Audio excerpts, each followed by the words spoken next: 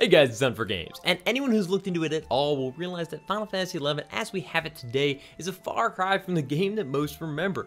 Biggest amongst those changes are, in my opinion, travel. The vast, vast world of Vana'diel, spanning fake miles of space, can now be hopped around with ease thanks to survival books, uh, warping between home point crystals, but the massive and awesome and dangerous zones still pose a huge time investment when it comes to getting from point A to point B. Even that is still a lot easier than it used to be though, because no longer are telepoint chocobo vendors or city stables the only ways that you can get on a chocobo or any kind of mount. Now, after a short and mildly amusing quest involving the taming of a wild raptor, you can summon a mount wherever they're rideable. Even the chocobo whistle, which was obtained through a month-long super grueling process of chocobo breeding, is second in convenience to this new mount system. Just saying the word mount in Final Fantasy XI sounds weird. We never got mounts. You have chocobos. That's all it's ever been. You just got a chocobo. Final Fantasy XIV adapted the new mount system, and it seems to be working fine in that game, but it just feels weird in Final Fantasy XI. Having said all that, I, I just now did the quest. I've been back for months, and I've just kind of avoided it. It felt too weird. Travel in Final Fantasy XI was one of the reasons that the game was so special. The world felt huge, just massive, and it used to be that before setting out, you truly had to decide on what adventure you were going to take part in that day, what supplies you'd need in terms of like keys for doors, food, any other random items you might need. I, I don't know, it just felt weird to be able to summon them out anywhere. It felt too new. Even though I completely take advantage of the teleport warping between home points like every day. I, as soon as I restarted the game, I was like, I'm doing that. I had no problem with that. Still, it, it's so easy now. The Chocobo Whistle had limits. You could only use it like once every half hour or something, and to get it was like a pain in the ass. I earned that thing. But an unresistible combo platter of available mounts finally made me do the quest. A, a crawler from the login campaign, and Fenrir, the unholy summon himself.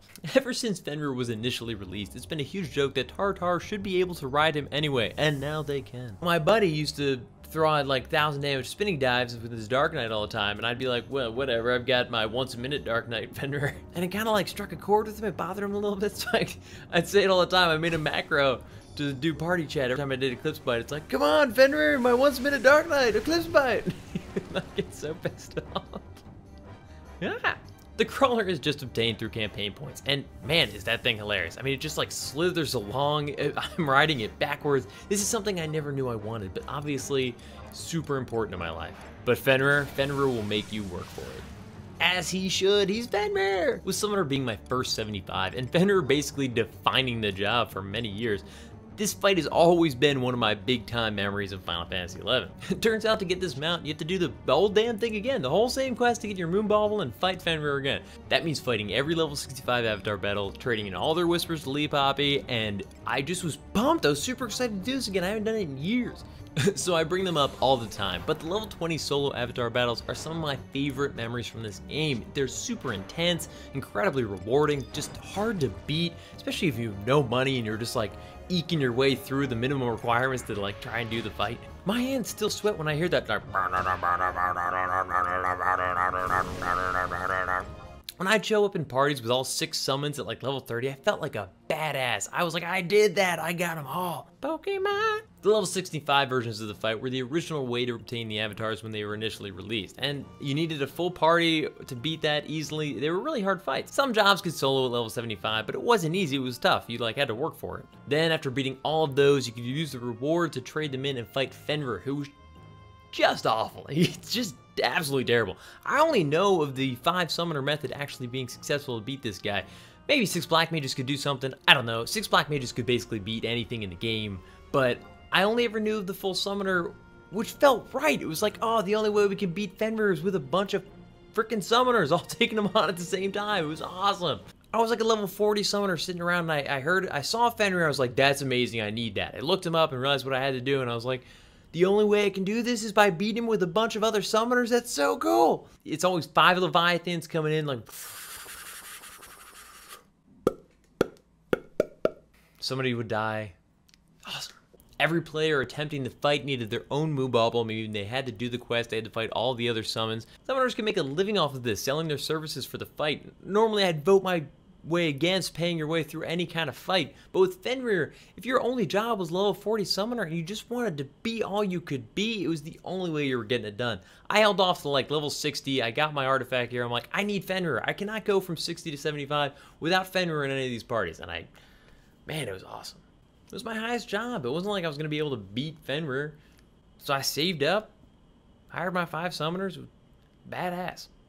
So I couldn't wait to fight the avatars again. I've been playing around with their much harder versions for artifact upgrades It's like the I-19 level, but I haven't fought the level 65 versions in forever.